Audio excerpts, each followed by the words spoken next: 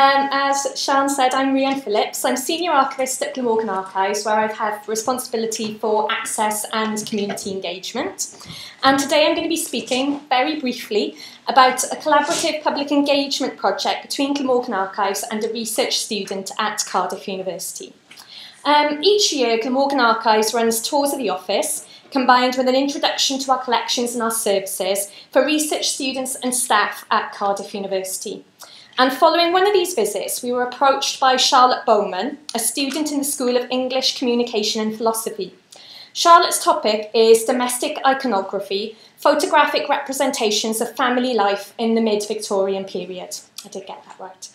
Um, Charlotte was seeking to introduce an element of public engagement to her work through the Afterlife of Heritage project, which I'll tell you about later. Um, and following her visit to Glamorgan Archives, she recognised the possibilities of combining her expertise and knowledge with our public engagement skills. Um, Charlotte has a background as a teacher, having taught at sixth form and FE colleges before returning to education. Um, she therefore suggested producing a research for schools. And drawing on our work with schools at Glamorgan Archives, we suggested a resource targeted at Welsh Baccalaureate students. Now, for those of you who aren't aware of the Welsh Bac, it's delivered to all post-16 um, students across Wales, and from 2015 will be delivered to all post-14 students.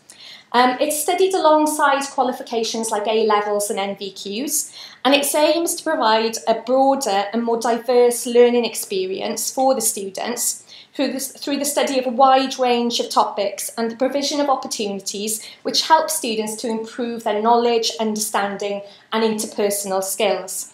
And Charlotte's work seemed to fit in with this as opposed to the more traditional um, school curriculum.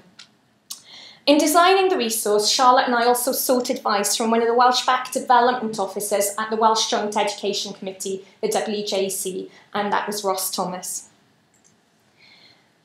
As archivists, we also drew on our knowledge of our collections to suggest suitable photographs on which to base the resource.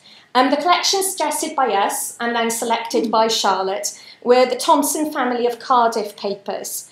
Um, the collection includes a large number of family photographs and photo albums, and this is one of my favourites from the collection. It shows um, Alexander and Eleanor, grandfather and granddaughter, and it's quite unusual, this collection, because it does show Victorian people at home, shows their family life, which you don't usually get to see in photographs of stern Victorians, the sort of thing that we're used to seeing. Charlotte's intention was to produce a research, resource which could be used by teachers in the classroom, but which would ideally be used as a basis for a workshop by classes visiting Glamorgan Archives. Um, advice from us at the Archives, having worked regularly with schools, um, and also this advice was confirmed by Ross Thomas from the WJC, was that funding would be an issue when attracting schools in to undertake the workshop. Um, key obstacles for schools when arranging visits and trips are the cost of transport, and for secondary schools in particular, the cost of teacher supply cover. So we decided that in order for, for the project to get off the ground, we would need initially to offer some sort of funding to cover these costs. Now, Glamorgan Archives already has funding to subsidise transport to the archives for schools by up to 75%. This is through a grant from CYMAL, uh, Museums, Archives and Libraries Wales. Charlotte then sought funding from the Afterlife of Heritage initiative to cover teacher supply costs. Now, the Afterlife of Heritage um, project is a research skills training project funded by the AHRC, aiming to provide research students and early career researchers with the skills needed to develop a career in the heritage sector. The research to public strand, in which Charlotte was involved, seeks to help researchers in understanding the public impact of their research and developing a public engagement element to their work. Um, funding was available for several projects run in collaboration between researchers and cultural partner. Charlotte and I attended afterlife workshops, and Charlotte was successful in gaining, gaining funding for her proposal. Now, it was just a very small amount. We're not talking megabucks here. Charlotte got £400, which isn't huge, but it was just enough for us to kick this project off and to get things started. So, what was the result of all the planning? Um, Charlotte created a resource uh, photographing the family in the 19th century, and this was made available via the WJEC website. It included a PowerPoint presentation, you can see one of the slides here, along with notes for teachers, so that it meant it could be easily used by teachers in the classroom.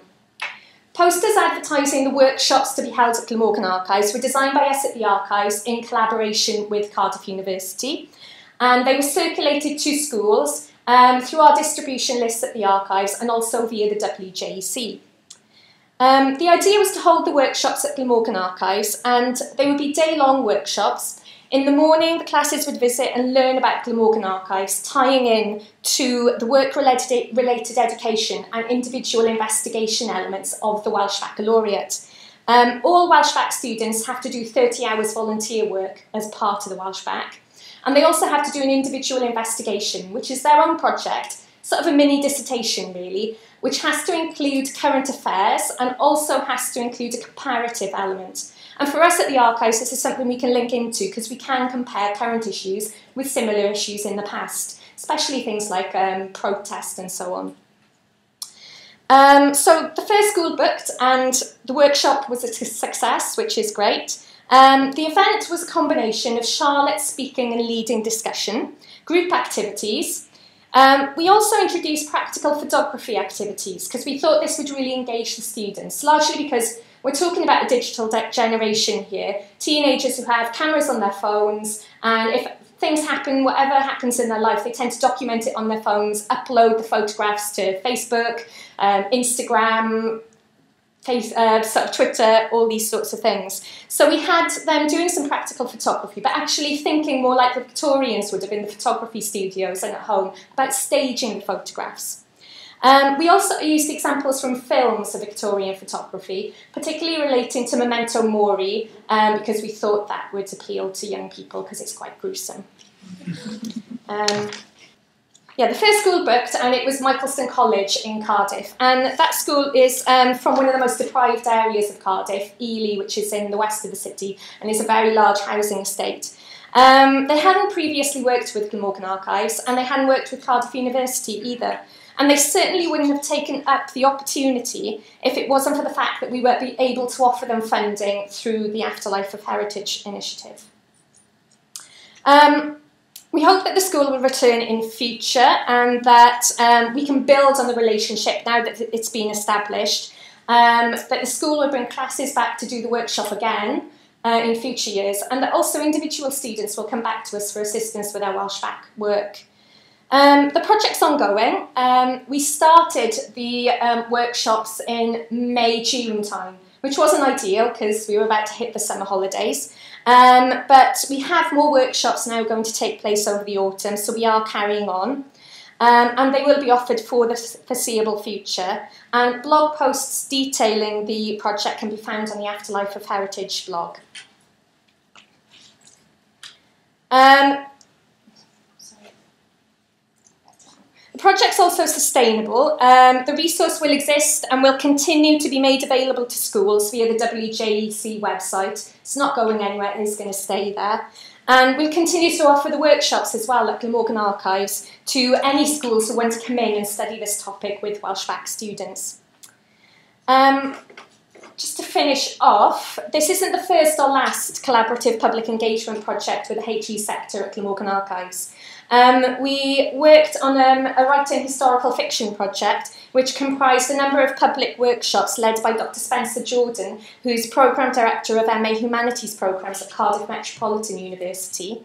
And we also worked on the Caer Heritage Project, which is a collaboration between archaeologists from Cardiff University, um, Ely and Caerau Communities First, local residents and local schools to explore the history and archaeology of the Cardiff suburbs of Caerau and Ely from prehistory through to the modern day, helping to connect the communities and encourage them to develop their own heritage.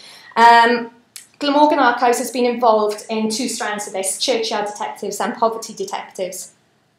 And these projects, along with the um, work that we did with Charlotte, have proved to be a great way of combining the expertise of academics and archivists, making the most of each other's strong points, exploiting the archive collections, providing young people and communities with aspirations through history, and also creating a sustainable legacy. Thank you.